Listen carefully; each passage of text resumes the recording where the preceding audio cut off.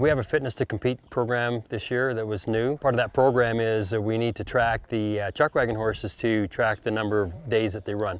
We're chipping the horses so we can scan them and uh, download information to a computer. Essentially, the microchips are, are come pre-packaged in essentially a, a, syringe with a little bit larger than average needle on them, you know, but not much different than a needle we would use for, you know, vaccinating or, you know, putting antibiotics into the, you know, giving intramuscular injection of one of those two products.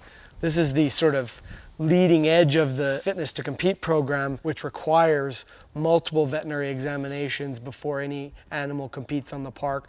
I have horses anywhere from Dubai, I have a horse from New Zealand, and all the way across North America. It's a lot to keep track of. And the Calgary Stampede, you know, they're very proactive and they're trying to do all they can uh, for the safety of the sport and just uh, information for everybody. So I think everybody's just looking to uh, take care of these horses. You know, there's a lot of misconceptions out there that these guys run their horses uh, 10 days in a row. So we're trying to, to myth that.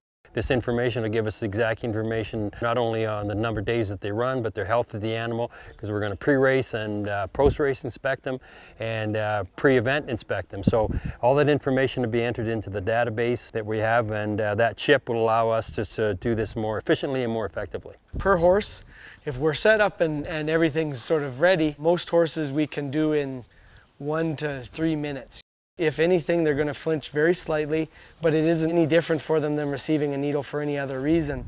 Once we've completed the microchipping, these horses haven't received sedative or anesthetic of any kind, so they're ready to go out, you know, be turned out this afternoon and graze, or some of these horses may even compete tonight. There's really no after effect of the implantation. We can scan repeatedly and enter it into a digital database that tracks their rest days, their competition days, any injuries that may occur, any treatment that they've received. It also allows our veterinarians to log them off when they've been examined when they arrive on park, again when they're examined pre-race, and then again when they're examined post-race. If there are trends that come out of that data, we can react to those trends, make necessary changes in the future, and always, always, the, the whole goal is sort of to improve the sport, in my opinion, for the health of the animals. If changes need to be made, we'd like to make them based on science and evidence and data rather than emotion. I think the microchips are, you know, it's a way of the future for a lot of animals, uh, probably